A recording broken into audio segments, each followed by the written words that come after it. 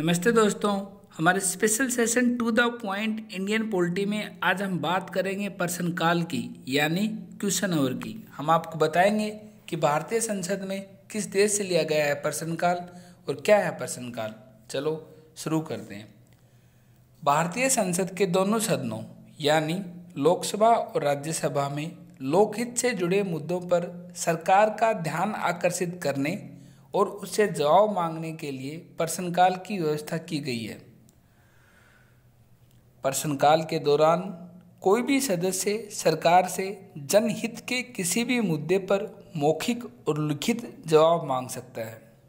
हम आपको बता दें, प्रश्नकाल में प्रश्न पूछने का मूल उद्देश्य लोक महत्व के मामले में जानकारी प्राप्त करना है। हम आपको बता दें कि भारतीय संसद की परंपरा ब्रिटेन से ली गई है। जब हमारा संविधान बना था। और ब्रिटेन की संसदीय परंपरा में है, सदन जब भी मिलता है तो सबसे पहले उसका कार्यक्रम प्रश्नकाल का होता है और प्रश्नकाल एक घंटा का होता है। यहीं से ये परंपरा हमारे देश में मिली गई है। जब हमारे देश में उन्नीस सौ बावन में चुनाव, पहली बार चुनाव संपन्न हुई और लोकसभा और राज्यसभा का गठन हुआ, उसके तत्पश्चात ये परंपरा लोकसभा पहले लोकसभा और फिर राज्यसभा में शामिल की गई। राज्यसभा में पहले प्रश्नकाल आधे घंटे का होता था, उसके बाद राज्यसभा और लोकसभा दोनों में ही प्रश्नकाल एक घंटे का होने लग गया। हम आपको बता दें, संसद स्तर का पहला घंटा प्रश्नकाल के लिए होता है, लेकिन 2014 में प्रश्नकाल का समय बदल दिया गया।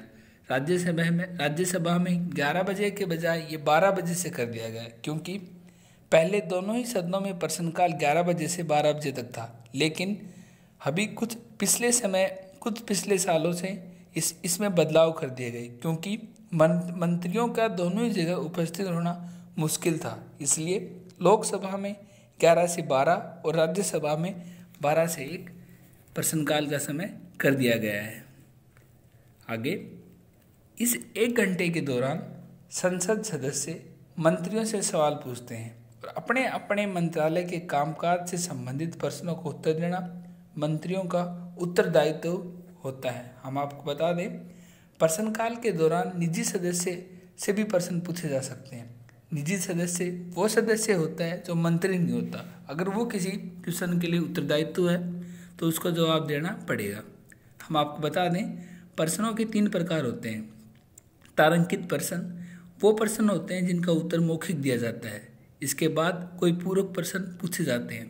अगला, अतारंकित प्रश्न। अतारंकित प्रश्नों के मामले में लिखित रिपोर्ट आवश्यक होती है, इसलिए इनके बाद पूरक प्रश्न पूरक प्रश्न नहीं पूछे जा सकते। तीसरा प्रश्न, अल्प सूचना प्रश्न।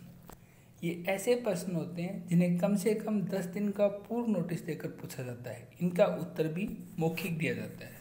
हम आपको बता दें प्रश्नकाल का आयोजन दोनों सदनों में सत्र के सभी दिनों में किया जाता है, परंतु दो दिन प्रश्नकाल नहीं होता, जो कि एक अपवाद के रूप में पहले, जब राष्ट्रपति दोनों सदनों के सांसदों को संबोधित करता हो, तब राष्ट्रपति अब दोनों साधनों दोनों सांसदों को संबोधित कब करेगा? राष्ट्रपति का भाषण एक नई लोकसभा की शुरुआत में और नए संसद वर्ष के पहले दिन होता है।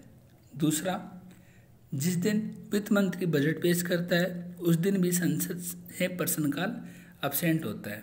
हम आपको बता दें, प्रश्नकाल के बिना पूर्व के सत्र जो हुए हैं, उनमें पूर्व में सभी पूर्व में भी राष्ट्रीय आपात स्थितियों के दौरान प्रश्नकाल को स्थगित किया जा चुका है। लेकिन हाल ही में पिछले साल मानसून सत्र के दौरान भी प्रश्नकाल को स्थगित किया गया था, क्योंकि कोरोना पैंडेमिक के चलते। इस तरह दो बार प्रश्नकाल स्थगित हो चुका है।